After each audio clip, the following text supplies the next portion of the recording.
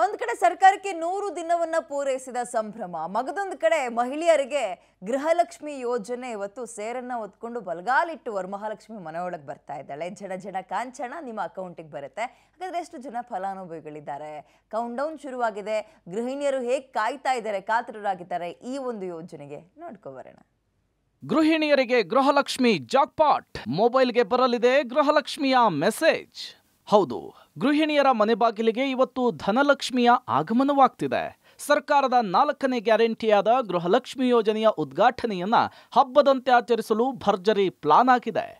ಇವತ್ತು ಏಕಕಾಲಕ್ಕೆ ಹನ್ನೊಂದು ಸಾವಿರ ಸ್ಥಳಗಳಿಂದ ರಾಜ್ಯಾದ್ಯಂತ ಉದ್ಘಾಟನೆಗೆ ಪ್ಲಾನ್ ಮಾಡಲಾಗಿದೆ. ಮೈಸೂರಿನಲ್ಲಿ ಪ್ರಮುಖವಾದ ಉದ್ಘಾಟನೆ ಇದ್ರೂ ಜೊತೆಗೆ ಜಿಲ್ಲೆ ಜಿಲ್ಲೆಗಳಲ್ಲಿ ಪಂಚಾಯಿತಿ ವ್ಯಾಪ್ತಿಯಲ್ಲಿ ಹನ್ನೊಂದು ಸಾವಿರ ಸ್ಥಳಗಳಲ್ಲಿ ಏಕಕಾಲಕ್ಕೆ ಯೋಜನೆಗೆ ಚಾಲನೆ ಕೊಡಲಾಗ್ತಿದೆ. ಆಗಸ್ಟ್ ತಿಂಗಳ ಗೃಹಲಕ್ಷ್ಮಿ ನೋಂದಣಿ ಕಾರ್ಯ ಮುಕ್ತಾಯವಾಗಿದೆ. ಆಗಸ್ಟ್ ತಿಂಗಳ ಎರಡು ಸಾವಿರ ಹಣವನ್ನು ಪಡೆಯಲಿಕ್ಕೆ ಒಟ್ಟು ಒಂದು ಪಾಯಿಂಟ್ ಎರಡು ಎಂಟು ಕೋಟಿ ಫಲಾನುಭವಿಗಳಾಗಿದ್ದಾರೆ. ಇದರಲ್ಲಿ ಒಂದು ಪಾಯಿಂಟ್ ಒಂದು ಒಂದು ಕೋಟಿ ಜನ ನೋಂದಣಿಯನ್ನು ಮಾಡಿಕೊಂಡಿದ್ದಾರೆ. ಇವತ್ತು ಉದ್ಘಾಟನೆಯಾದ ಒಂದೇ ಕ್ಲಿಕ್ಕಿಗೆ ಫಟಾಫಟ್ಟಾಗಿ ಫಲಾನುಭವಿಗಳ ಅಕೌಂಟ್ಗೆ ಗೃಹಲಕ್ಷ್ಮಿ ದುಡ್ಡು ಬರಲಿದೆ. ಈ ಹಣ ನಮ್ಮ ಬದುಕಿಗೆ ಅದೆಷ್ಟೋ ಸಹಾಯವಾಗಲಿದೆ. ಗಂಡಂದಿರ ಬಳಿ ಹಣ ಕೇಳುವುದಕ್ಕಾಗಲ್ಲ.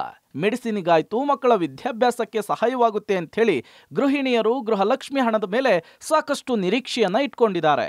ಏನು ಹೇಳೋದಂದ್ರೆ ಯೂಸ್ ಆಗುತ್ತೆ ಮಹಿಳೆಯರಿಗೆ. ಅದರಿಂದ ಅವ್ರಿಗೂ ಸಣ್ಣ ಪುಟ್ಟ ಖರ್ಚುಗಳಿಗೆ ಹೆಲ್ಪ್ ಆಗುತ್ತೆ ಅಂತ ಅಂತ ಭಾವಿಸ್ತೀನಿ. ಕೆಲವ್ರದ್ದು ಗಂಡಂದಿರ ಹತ್ರ ಕೇಳೋಕ್ಕಾಗಲ್ಲ, ಕೆಲವೊಂದು ಮಕ್ಕಳಿಗೋಸ್ಕರ ಏನಾದರೂ ಮಾಡೋದಿರುತ್ತೆ, ಅವ್ರಿಗೂ ಆಸೆಗಳಿರುತ್ತೆ. ಕೆಲವ್ರ ಕೆಲಸಗಳಿಗೆ ಹೋಗೋಕ್ಕಾಗಲ್ಲ. ಸೊ ಅಂಥವ್ರಿಗೆ ಗೌರ್ಮೆಂಟ್ ಅವ್ರ ಈ ಥರ ಹೆಣ್ಮಕ್ಳು ಕೊಡೋದ್ರಿಂದ ಹೆಲ್ಪ್ ಆಗುತ್ತೆ ಅಂತ ನನ್ನ ಅನಿಸಿಕೆ ಇದೆ. ಪರವಾಗಿಲ್ಲ ಅನಿಸುತ್ತೆ.